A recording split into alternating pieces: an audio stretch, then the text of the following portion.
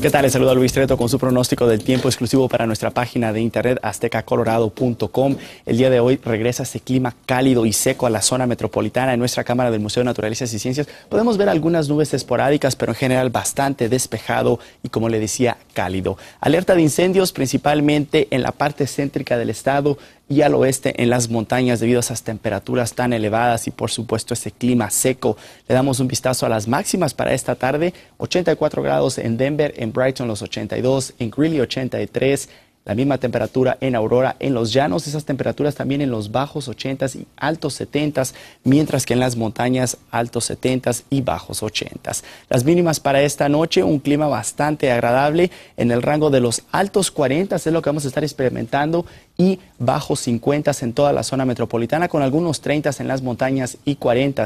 ¿Qué le parece si le damos un vistazo a su pronóstico de los siete días para que vaya comenzando a planear su fin de semana sumamente cálido, especialmente el día sábado con 100 grados como máxima, mínima de 59, el domingo, ojo, 99 grados, todavía mínima de 60 y el resto de la próxima semana laboral, vea usted cómo se mantienen esas temperaturas en los altos 90 y medios 90, mínimas en los 60 con la posibilidad de algunas tormentas eléctricas para el día lunes, martes y miércoles. Que tenga un estupendo jueves. Continúa aquí en Azteca, Colorado. Muy buen día.